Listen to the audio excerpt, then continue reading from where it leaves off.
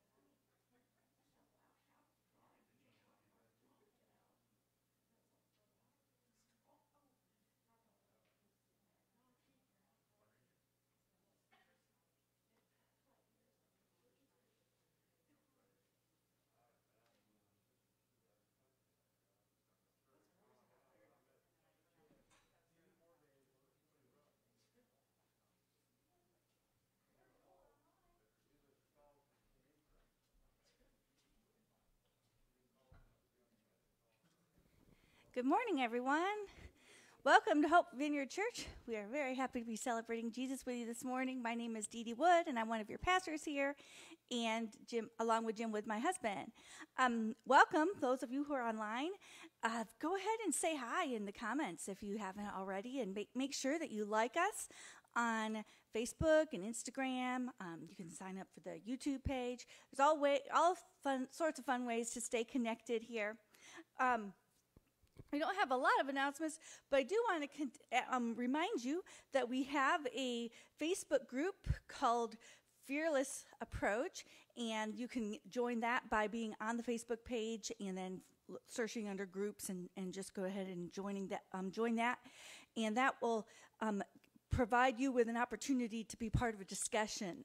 We have I um, post different things. Uh, uh, um, that we're talking about and get, elaborate on the teaching there and allow time to interact and discuss and get to know one another better. And so that's a great way to um, be even more connected as we are still very you know disconnected um, with a lot of us being online or not being able to gather regularly in each other's homes or or at, even at the church. Um, before Jim starts uh, his message, I would like to go ahead and pray. Father, thank you for your presence here with us this morning. We ask that you will continue to minister to our hearts and our minds and, and open us up to what it is that you are saying and how you're wanting to bring revelation of yourself today. We are excited to um, hear this teaching and learn from the Holy Spirit.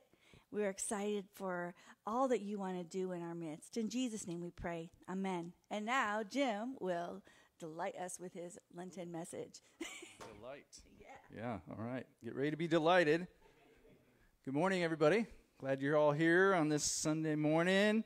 I don't know about you, but I am happy to see the weather warming up. And it's raining right now, but that would be snow a week ago. So, hallelujah for warmer weathers.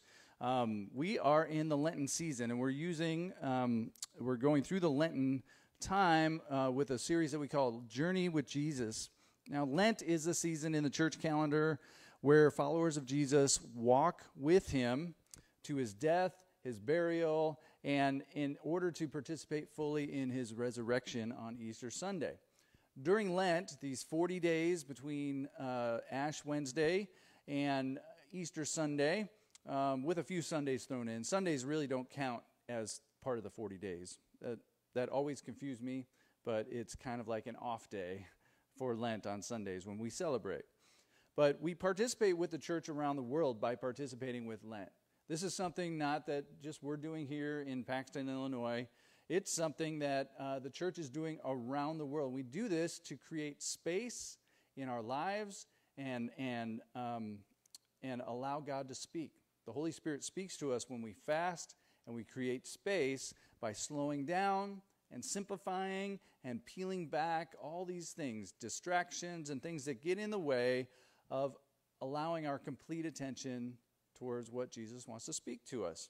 And so we do this, we celebrate Lent or we observe Lent so that we can invest in practices like being quiet, reflecting, repentance, seeking the Lord, hearing his voice through prayer, through scripture reading, through many of the uh, spiritual practices of, of just contemplation and mindfulness to know that Jesus is here uh, through his Holy Spirit. So we practice these Lenten pursuits, and in doing so, Jesus will reset us and reorder our lives so we can be in tune with him.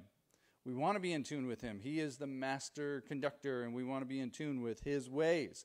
And uh, to celebrate this journey with Jesus and to observe this, we're using the lectionary readings in this year. The lectionary is uh, something that the church has used for thousands of years. It, what it is, is on specific Sundays, there are specific readings that churches who follow the lectionary are using. And so we'll be reading from Mark chapter 8, verse 31 to 38. And I want to encourage you to open your Bibles, follow along as we read. Uh, other believers around the world today, millions around the world, are reading from the same scripture. And there's a lot of power, I believe. There's a lot of uh, power in doing this together. It's unity with the global church. And right now, I believe this is a time where we need to invest and participate in being people of unity. And so um, let's look at Mark chapter 8. It's on the screen too, uh, verses 31 to 38. I'll go ahead and read it, but if you want to follow along, you sure can. It says this Then Jesus began to tell them that the Son of Man must suffer many terrible things and be rejected by the elders, the leading priests, and the teachers of religious law. He would be killed, but three days later he would rise from the dead. As he talked about this openly with his disciples, Peter took him aside and began to reprimand him for saying such things. Jesus turned around and looked at his disciples, then reprimanded Peter. Get away from me, Satan, he said. You are seeing things merely from a human point of view, not God's. Then, calling the crowd to join his disciples, he said, If any of you wants to be my follower, you must give up your own way, take up your cross, and follow me. If you try to hang on to your life, you will lose it. But if you give up your life for my sake and for the sake of the good news, you will save it. And what do you benefit if you gain the whole world but lose your own soul? Is anything worth more than your soul? If anyone is ashamed of me and my message in these adulterous and sinful days, the Son of Man will be ashamed of that person when he returns in the glory of his Father with the holy angels. Okay, so that's Mark 8, 31 through 38. And what we see here is really an unexpected turn of events. Uh, my favorite kind of stories are those kind of stories where you have a surprise twist at the end. Uh, I still remember, I can't believe it's over 40 years ago now, but I still remember seeing The Empire Strikes Back. Right, Les? Empire Strikes Back. Saw it in the theater for the first time over 40 years ago. 1980, it was released. And spoiler alert so if you've never seen it, I'm sorry. You've had 40 years to do that. So I'm going to tell you what happens. There's an iconic plot twist at the end. And I remember it distinctly because it was shocking. In a day when we didn't have the internet, we didn't have all these ability, you know, a big ability to get spoilers out there. Uh, you go to the theater, and if you hadn't talked to somebody, somebody hadn't spilled the beans, you find out at the end what? Darth Vader is Luke's father and it's crazy. Uh, just like that kind of twist put a whole new spin on the entire franchise. Mark Hamill last year, he was he's Luke. He played Luke Skywalker, and uh, last year when uh, people were recollecting about The Empire Strikes Back and this iconic scene, he tweeted about this. He said the cast and the crew first learned of it when they saw the finished film. He said, "When we shot it, Vader's line was." You don't know the truth. Obi Wan killed your father. So when they shot it, only Irvin Kershner, George Lucas, and Mark Hamill knew what would be dubbed in later. And he said it was agony. He had to keep that secret for over a year. Crazy. Uh, I don't know if I could have done that. you know, that would be that'd be hard. But those kind of turn of events where this throws everything I knew into a different perspective. That's what we see here by reading this in Mark 8 starting in verse 31. Up to this point in Mark's gospel, now Mark's gospel is only 16 chapters, so we're about halfway through. And all through, up to this point, Jesus is proving himself over and over and over again to be an unstoppable force. Mark writes in a super fast paced fashion. It's like Jesus did this, then he did that, then he went on and did this thing, and it's boom, boom, boom, boom, boom a lot of fast pacedness. There's healing after healing, and he's blowing minds with his authoritative teaching, and he's feeding 5,000 people. A little bit later, he's feeding 4,000 people miraculously. He's even raising people from the dead, and Mark is telling this, and Jesus is rocking it, and it's awesome. And then we have this twist, just like Luke, I am your father. Put it into a different realm. That's what happens here. In verse 31, it says, Jesus began to tell them. So we pick up on this. This is the first time he began to tell them about what was going to happen. It's actually the first of three times in Mark's gospel that Jesus, that Mark records Jesus telling in detail what they could expect was going to happen to Jesus. Um, Mark 8, right here, Mark 9, 31, and in Mark 10, 33 and 34. And each of these times, Jesus predicts at least three things stand out in each of the passages. The same thing. First, Jesus says, I'm going to suffer. He's going to suffer many terrible things, it says here. Uh, in others, he's going to suffer rejection. He suffers betrayal. He's delivered into the hands of men. He's going to be suffering. In Mark 10, he, Jesus even predicts, I'm going to be, I'm going to suffer and I'm going to be mocked. I'm going to be spat on. I'm going to be flogged. It's not going to be pretty. I'm going to be suffering. The second thing he predicts is that he's going to be killed. He's going to be killed at the hands of men. This isn't uh, something that Jesus does himself, it's something that he willingly allows other people to do. He allows himself to be delivered and will, in fact, be killed. Third, he says, But I'm going to rise again. Not at some uncertain time, like in the future, like us. You know, we will rise again. Those who are found in Jesus will rise again from the dead, be resurrected when Jesus comes again. But um, that's an uncertain time in the future. But Jesus gives a very specific time frame about when this is going to happen. He says, Three days after I'm killed, I will rise again. And he's telling this to the disciples, and he talks openly about it. It says in verse 32 Jesus talked openly about what was going to happen. Now, we're so accustomed to the message of the cross that, that we don't really often think about how, how crazy this would have sounded to the disciples. You know, it would have fallen on them much like that twist uh, of in, in our stories that we love, you know, where something changes dramatically. Everything they had seen him do up to this point, everything they had heard him say, was incredible. It seemed like he was unstoppable and there would be nothing. It seemed like this was it. And there was no doubt that, um, that he would do the things that uh, you know, they thought he was going to do as the Messiah. But this was easily, easily the worst news that they had received from Jesus up to this point. He seemed to be saying that he was going to lose, right? Like, we're starting this revolution, we're doing all these great things, and then guess what? I'm going to die. That's not what they expected from him. And even worse, not only did he say, hey, you know what, I'm going to lose, but you all get to come with me, lose with me, and you're going to die too. Like, that's not good news. And the disciples probably were shocked to hear it. In fact, Peter takes Jesus aside. He pulls him aside, and, and Mark tells us he reprimanded Jesus. Can you imagine that? Like, what's that? You know, picture that in your mind. Jesus, you know, being pulled aside by Peter, saying, hey, you know. Um, a little bit of context is right before this in Mark 8, uh, right before this passage, um, Jesus is talking to his disciples and he's asking them, because they're talking about all the miraculous things, and they're asking him, uh, you know, about things. And Jesus says, Who do you say I am? And so, right before this, um, Peter is the one who famously declares, Jesus, you are the Messiah. And so Jesus, Peter is on this, you know, it's a mountaintop thing. It's like, yes, Peter, you get it. You get it. And then right after this, Jesus starts talking about, and I'm going to lose. Peter pulls Jesus aside and, and reprimands him. Now, as a first century Jew, Peter had very specific expectations about what a Messiah is supposed to be and what he was supposed to do. And he hears what Jesus is saying, and that's not at all what they expected a Messiah to be or do.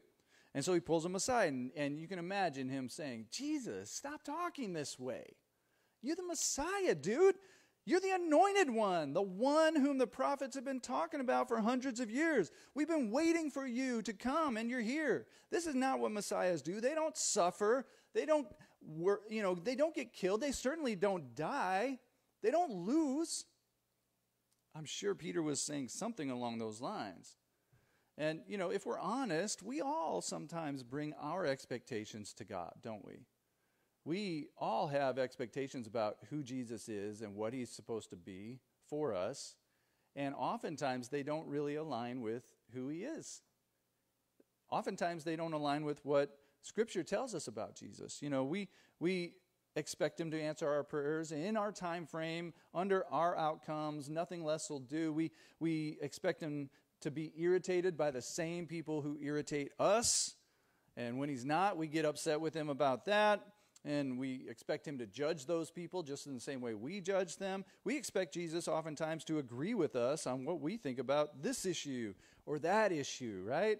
So we bring expectations to jesus and whether we realize it or not oftentimes we expect jesus to see things our way rather than try to see what his way is. And that's what Jesus says. He tells Peter, Get away from me, Satan. Now that seems harsh, um, but what Jesus is trying to communicate is that this message, what he's going to be doing, what is going to happen to him is so important. Any opposition to that plan has to be seen as not from God. And so, you know, Peter wasn't literally Satan, but P- Jesus is saying, This is so important. You're opposing this. That is not from God. That's satanic. That's from the accuser. Jesus wants to be clear that although it doesn't make sense, this is part of God's plan and has been all along. And he tells Peter, You're seeing things merely from a human point of view, not from God's point of view. We, we read in the Old Testament, Isaiah 55, verse 9 says, Just as the heavens are higher than the earth, so are my ways higher than your ways, and my thoughts higher than your thoughts. And so we know we are not God, even though sometimes we, we kind of act that way or feel like, I want to be king of my life. But Jesus was trying to help Peter and his disciples make sense of what outwardly didn't make sense. He was telling them something new, and it was shaking their world for sure. Our human nature celebrates, um, yeah, our culture too, celebrates prosperity. We celebrate success. We celebrate winning and strength and influence and all these kinds of things. We certainly don't celebrate losing. We don't celebrate when somebody dies. And so, um, you know, Jesus' priorities here often look different than our priorities. We can't forget that he came to inaugurate his kingdom. His kingdom is an out, upside down kingdom where the last are first and the strong are or weak are strong and the poor are rich and to die really is to live. Jesus came to serve not be served. And so his ways are indeed not our ways, yet he invites us into following his path and following his ways. And then in verse 34, he introduces the big if. He says, If any of you want to be my followers. And, and that if just hangs out there when you read it. If any of you want to be my followers. It's a very big if. And for all of us, that's where the rubber meets the road if we want to follow Jesus, it requires follow through. If we want to follow Jesus, it requires a decision.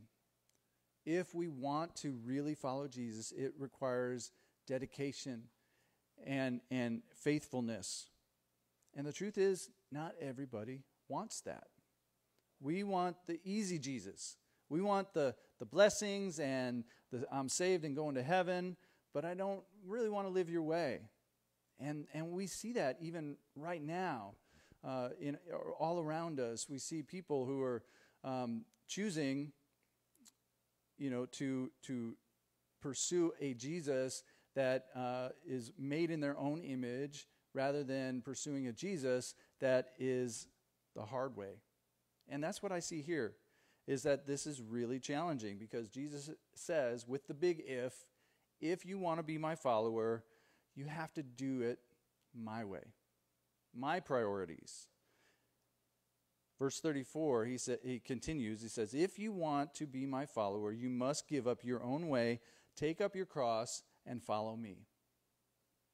And that's what I'm going to unpack here just briefly in our time together today. Another way to say that is those who follow Jesus, truly follow him, truly want to follow him, give up, take up, and look up.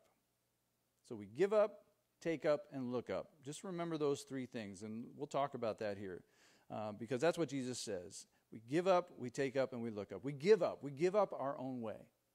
So to follow Jesus, if we want to follow him, we give up our own way. Self denial is the beginning of following Jesus, it's the beginning of discipleship, of what it means. It, it says that I'm turning to you, Jesus, and away from my uh, own way. That's really what repentance is. Um, when, when John the Baptist was saying repent, when Jesus says repent, um, we in our minds have this picture of, oh, repentance is I'm you know throwing ash on myself and I'm on the ground and I'm groveling and really sorry. And there's there's elements of that, but what repentance really means is it's turning and changing your mind, turning 180 degrees. And so when we repent, we're giving up our own way. We're saying, My way isn't the good way. Jesus' way is the good way. And so we give up. We give up our own way. It's not a contrived type of humility, like I was saying. There's no woe is me type of life. That's not what this is about. To give up our own way means to keep our priorities in harmony with what Jesus told us in the two greatest commandments love God and love people. And so we, again, uh, we need to be in tune. We're in harmony with what Jesus is teaching us. To give up our own way is to uh, seriously take that part of the Lord's Prayer that says, Your kingdom come and your will be done on earth as it is in heaven. That's a huge part of it. We're going to pray that prayer later. And I want that to pop out to you when we pray. Your kingdom come, your will be done on earth as it is in heaven. To say your kingdom come to Jesus means my kingdom goes. Your kingdom comes, my kingdom has to go. There can't be two kings. There's no two kingdoms in, in uh, God's sight. So I can't be on the throne at the same time that Jesus is. Your kingdom come. And to give up our own way means that we choose this to do it every day. Like it's not just a one time thing. We have to daily choose to give up our ourselves and lay down our lives to follow him. In the message translation, uh, Eugene Peterson translates this section. He says, Anyone who intends to come to me has to let me lead. You're not in the driver's seat, I am. So he puts it in a modern context, doesn't he? Jesus is in the modern is in the driver's seat. And uh, we can't be like Jesus take the wheel only when things are bad. We need to let Jesus take the wheel all the time, right? not just when things are going rough. So we give up our own way. We take up our cross. So we give up and we take up our cross. As confusing as it seems, God's way is the cross. We're going to talk a lot more about the cross as we get closer to Good Friday and Easter Sunday in Lent. But this is not talking about you have to take up the cross or embrace the cross that you bear in this life. A lot of us have this idea that to take up our cross, it's closely associated with a special kind of burden or a, a particular kind of hardship in our lives. You know, you'll hear people say that, like, oh, this is just, I guess it's just the cross I have to bear. That's not what Jesus is saying. He's not saying, um, you know, that this hardship in your life is your cross, like a bad job or a bad marriage or a debilitating illness or addictions. Those things are not the cross that you must bear. They might they they very well are challenging. They're difficult. But the cross that Jesus is talking about is different. He knows your pain. He knows your hardship. He knows those things because he suffered. He's acquainted with our pain and our sufferings. But the cross, when we take up our cross, it's to take up uh, the priorities of Jesus, it's to embrace them. The cross is the way of Jesus. And the cross, we know, the cross on the wall there, it's the, it's the symbol of our salvation. You know, the cross is, it was a uh, means of execution. And, it, and in uh, the first century, it was not something that you would, you would hang around your neck or put on the wall. Um, it, was, it was a means to kill people in a very, very uh, difficult, uh, painful way the worst of the worst were crucified. It wasn't just something that they did to everybody, it was to, to make a statement against um, political rivals, it was to make a statement against the worst of the worst. And it would, in our day, it would be similar to like people having an electric chair around their neck or, uh, you know, those kinds of things. That, that's the same kind of symbol. It's like, that's ridiculous. Why would you do that?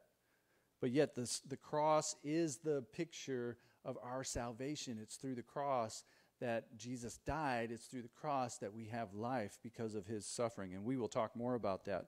But to carry and take up our cross is, is about um, marking us as God's own. And so when we carry the cross, we take it up, we, we are marked as God's very own people. And it demonstrates to others that we are his people too. And so we take up the cross when we speak words of compassion rather than words of hate to people who frustrate us. That's one way. We take up the cross when we work to make sure that people don't go hungry, that children have homes, that they have roofs. That's part of it too. We take up the cross when we pray for our loved ones, when we pray for our communities and the leaders of our country and our world. We take up the cross when we prioritize others ahead of ourselves. And that's just scratching the surface of it.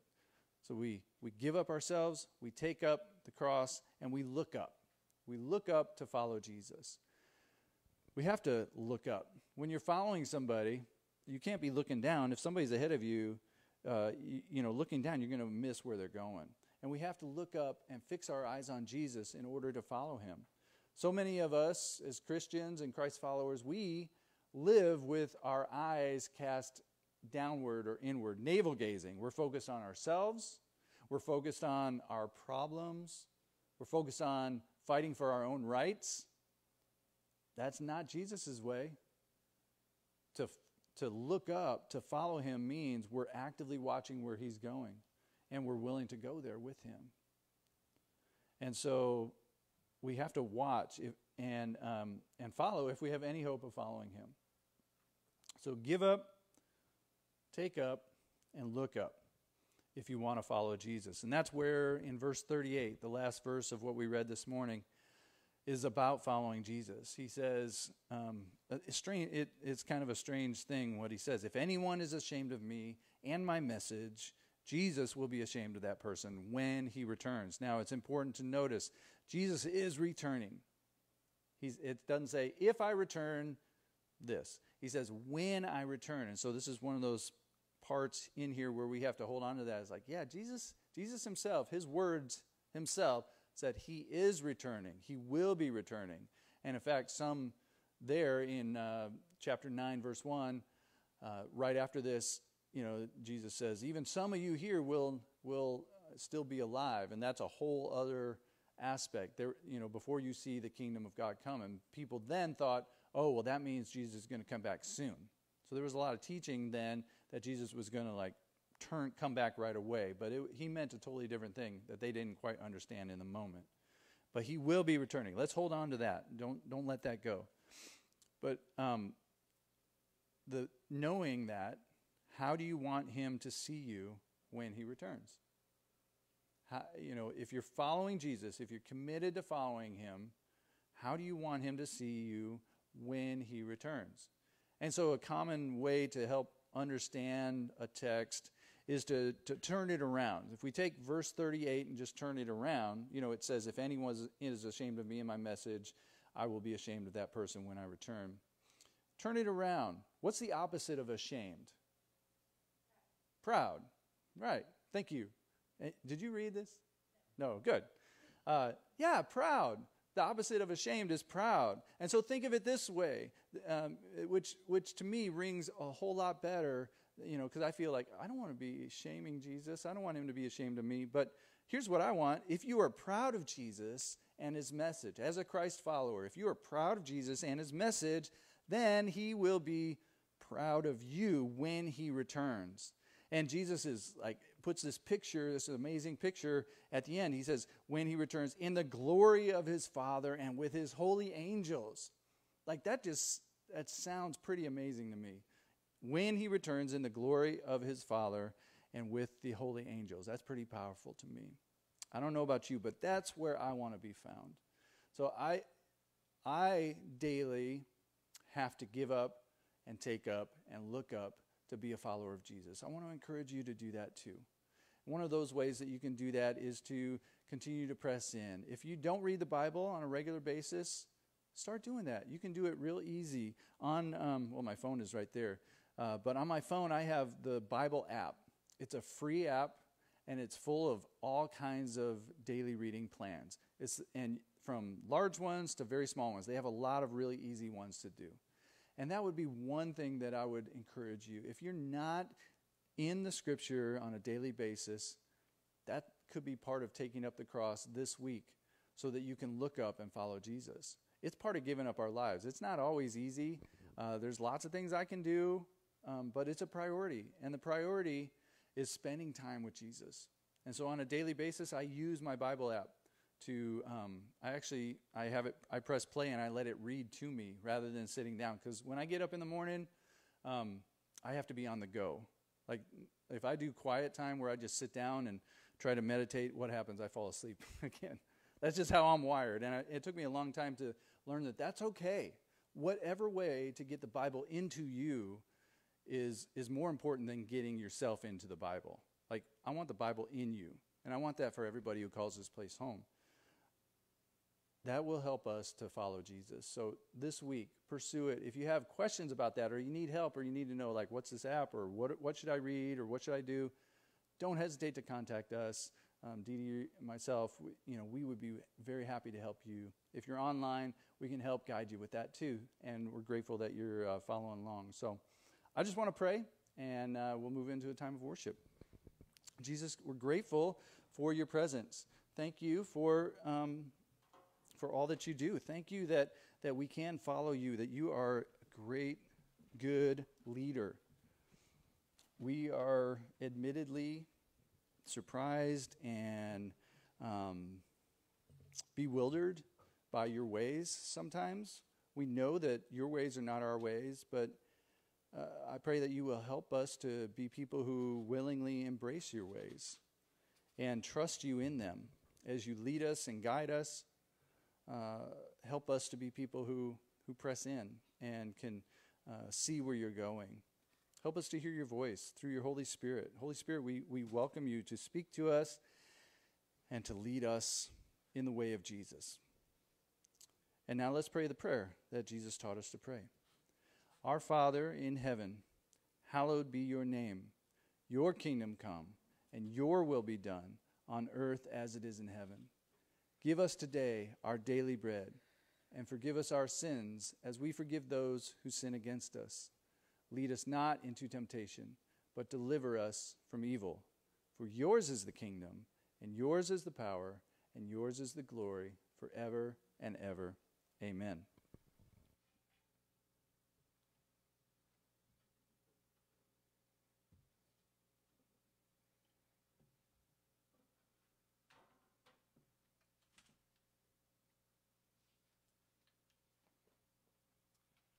Normally, at this time in our service, we would be taking an offering, but we don't pass the bags anymore. That's that's different uh, because we have people online and um, and COVID. And so, what we're doing, we have a, a, box if you're here in person on your way out. If you have something to contribute, we're grateful for that. Um, if you're online, you can always give online or mail in the check, um, all those kinds of ways, whatever it takes. Um, we're grateful for all of you who have generously and faithfully and sacrificially given uh, over almost a full year of this major disruption that we're all experiencing. Um, we're grateful for it and we thank you for it. So thank you for continuing to do this because it helps to keep the lights on, helps us to, to minister, to be able to share resources in our community. Um, we couldn't do it. That's what the church is all about. And so we couldn't do it without everybody participating. Thank you for your part. We're going to spend some time lifting our voices in worship and um, if you're online, you can follow with the words on the wall. If you're in here, you can do that as well. Um, but we, we do ask, you know, everybody keep the mask on over the nose and mouth while we sing, since singing is about the worst thing you can do to spread any kind of uh, transmission. So um, we still want to sing because it's a major part of what it means to to celebrate and worship. But um, thanks for participating in a, a meaningful way. So feel free to stand, move around, lift your hands, or just soak in meditation as we uh, worship together.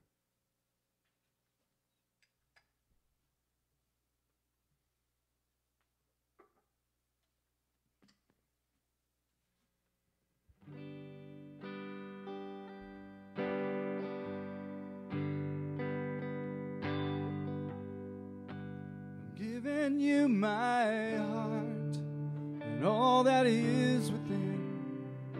I lay it all down for the sake of you, my King. I'm giving you my dreams. I'm laying down my rights. I'm giving up my pride for the promise of new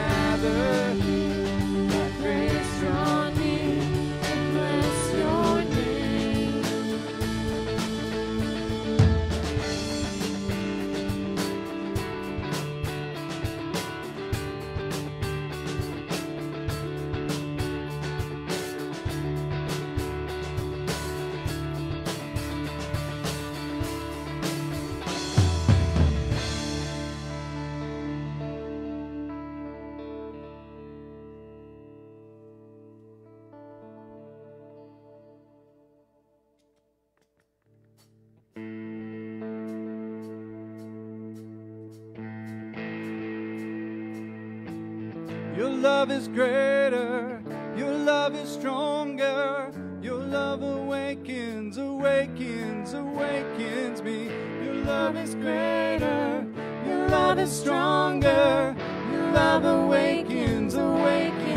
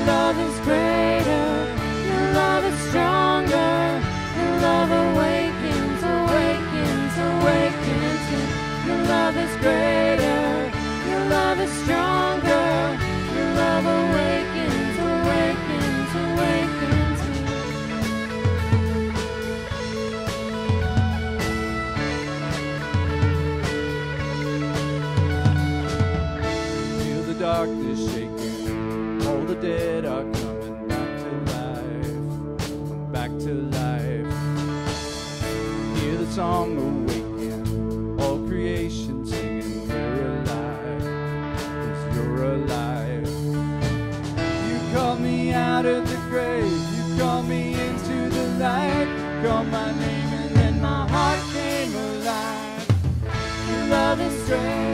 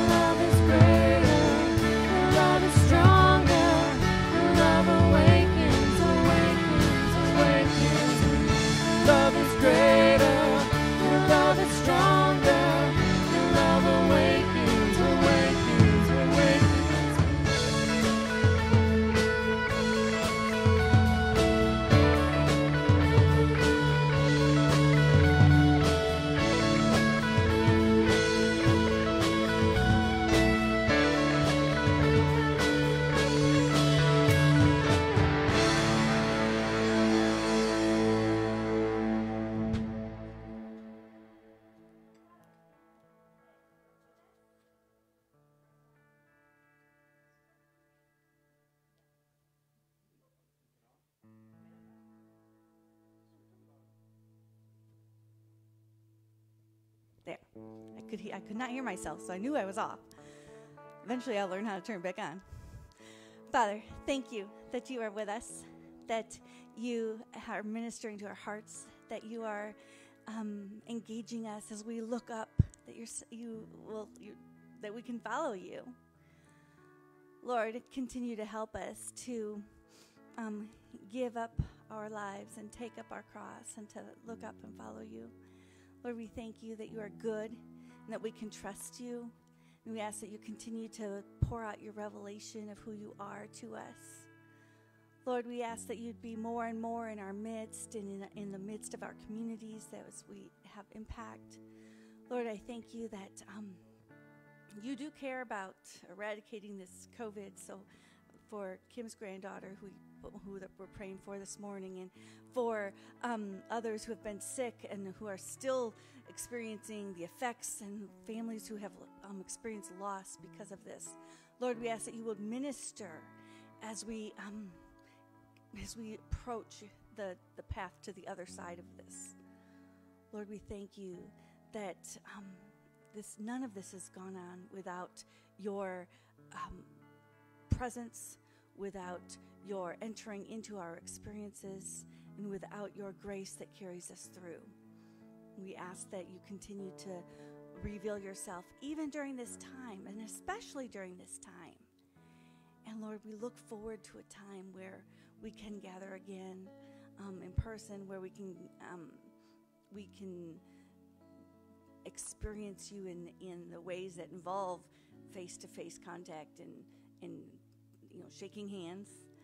Lord, we thank you that you are not leaving us, but that you are um, that we get to follow you to where you are going. In Jesus' name, we pray. Amen. Thank you for being here with us this morning online and everybody who's here this morning. It's good to see you. Um, I'm very hopeful now that we're approaching warm weather, so we, we get to have that bonus hope too. Um, if anybody would like to stay and have prayer, we'll, we'll pray um, before we, as we close. Otherwise, thank you all for being here uh, online, and we hope to see you again next week. Remember to connect with our um, groups so we can stay connected throughout the week. To have a good day. See you next time.